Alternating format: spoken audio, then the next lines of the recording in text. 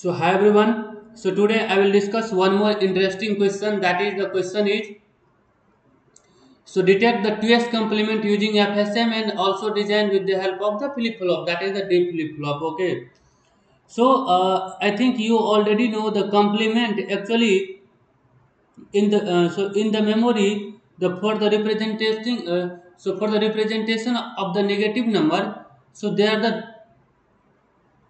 two thing is there okay sign magnitude representation sign magnitude representation and the eh, actually for the representation of the negative number not memory actually in the memory we represent uh, the any uh, uh, the negative number with the help of the 2s complement okay so uh, i am telling the representation of, of, of, for negative number we use the the two thing the complement form uh, complement form and the sign magnitude representation okay so the complement form is the two type. that is the 1s complement and the 2s complement okay.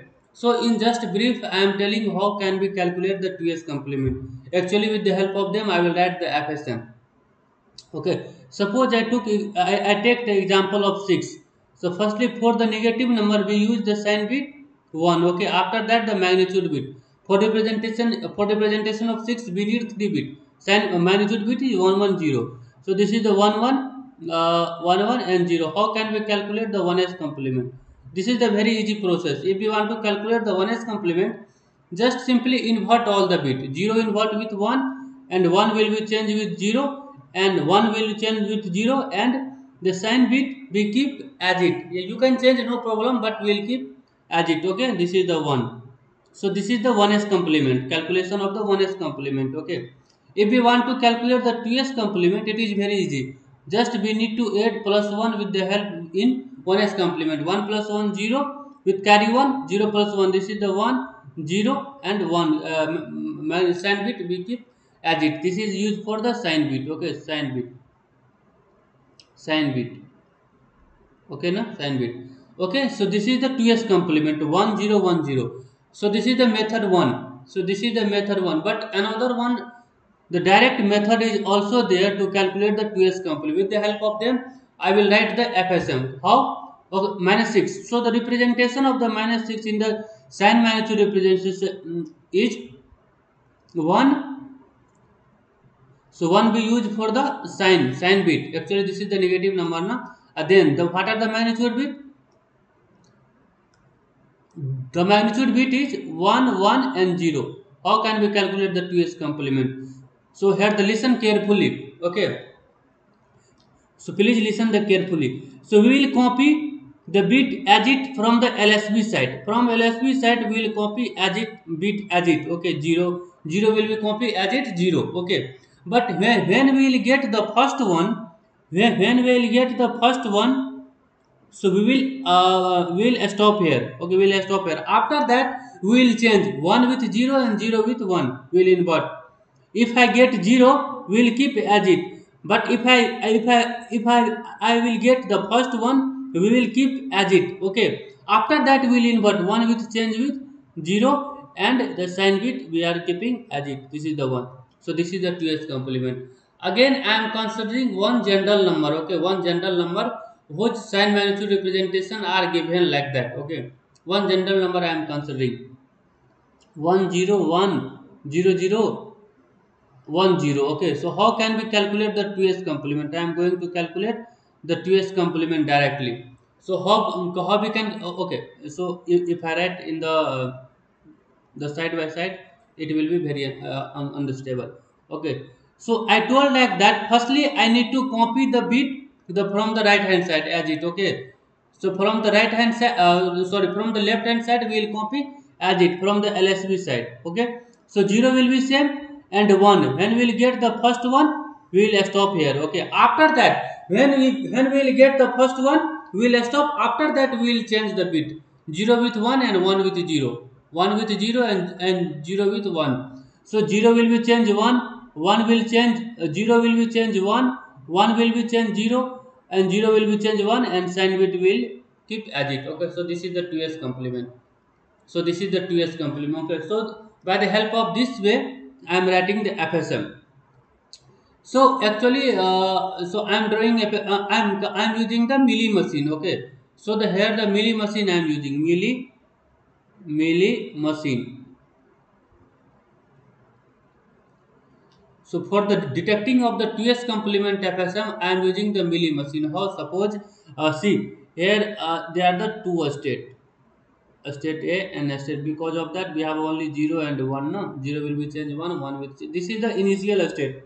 Okay. So, see how I am drawing. See. Uh, so from the left hand side, if I will get 0, will copy as it. So in case of the FSMLE machine, I am telling if I input 0, output will be 0. But when we will get the first one, input is 1 means first one we will get we will copy as it okay after that we will change 0 with 1 and 1 with 0 0 with 1 if I will get 0 will change into 1 and if I will get 1 1 will be change 0 so that thing I am telling I hope you understand okay I hope you so this state is a state 0 okay and this state is a state 1 okay again I am explaining no problem see in case of the Milli machine. At state 0, that is initial state, uh, I am representing state 0 and B for 1. Okay, see. If I give the input 0, will copy as it? See, 0. If the will give 0, will copy as it. 0, output is 0. But if I give input 1 first time, will keep as it. See here, will keep as it. 1, output will be 1. And after that, will change. If I give 0, will invert into 1 if I give 1, will change into the 0. In case of the millimeter, you know. If you give the input 0, output will be 0. Input 1, output will be 1. And after that, input 0, output 1, input 1, output 0. I hope you understand this machine. Okay. Now, I am designing with the help of the flip-flop. So, firstly, I will draw the table. Okay. So, uh, so we need only one flip-flop. Because of that, we have a two state is there. So, for the two state is there, uh, so this is the q and for input for purpose i am writing x okay this is the input this is the input and this is the present state so this is the 0 0 0 1 1 0 and 1 1 okay see see so this is the um, um, i am 0 for a this is the a state the present state no? 0 for a and b for 1 so this is the B state and this is the B state. Okay, and this is the input. See how I am drawing. So here I will add the Q plus. Q plus means the next state I am writing here. This is the next state. Okay, next state. How I, if we are at state A, state A means zero. If we are at state A, if I give the input zero, then we will be at same state means the zero. That is the state A. I am changing the color.